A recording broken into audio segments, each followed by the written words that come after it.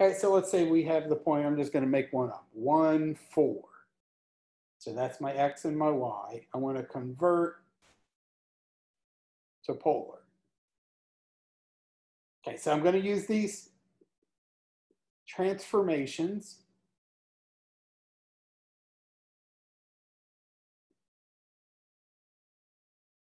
Okay, so x squared plus y squared must be r squared. 1 squared plus 4 squared equals r squared.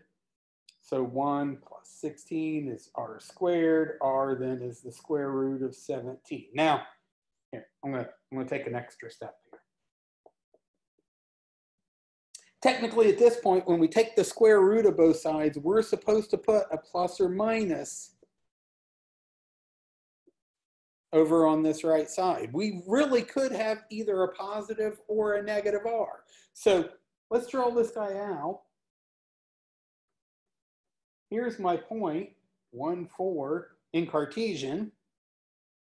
So I could say this angle right here, theta, remember theta is the angle from the x-axis. There's no discrepancy.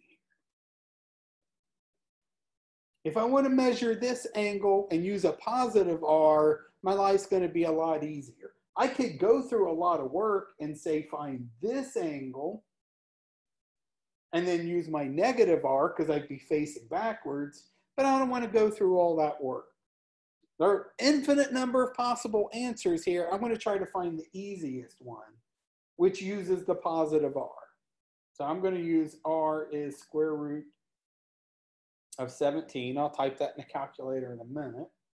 And then I'm going to use this to find my angle. So tangent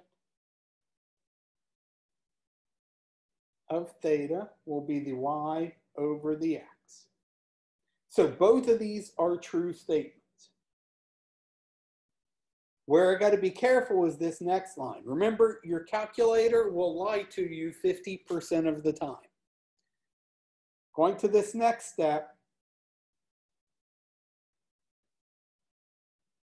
is only true if your point is in quadrant one or in quadrant four. If you're in two or three, this line is a lie. And we'll do something like that so you'll see. I'm in quadrant one, so I can trust my calculator there. So inverse tangent of four over one. I got 75.96 degrees. Uh, square root of 17. Let's approximate that R. 4.12. So I can write this point here as the point. Remember, we always want to do R theta. 4.12 comma 75.96 degrees.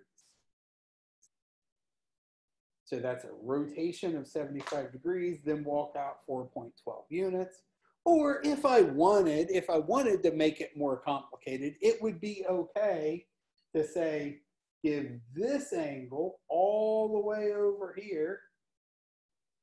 So that angle plus 180. So I think that would be 155.96 degrees.